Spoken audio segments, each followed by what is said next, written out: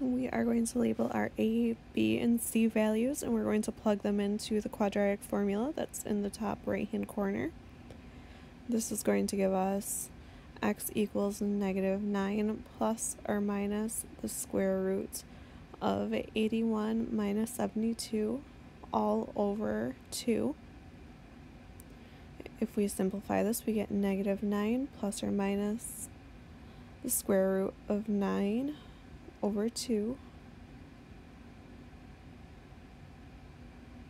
giving us negative 9 plus or minus 3 all over 2. So we are going to find that we have two answers. We have negative 9 plus 3 over 2, which is going to be negative 3, or negative 9 minus 3 over 2, which is going to be negative 6.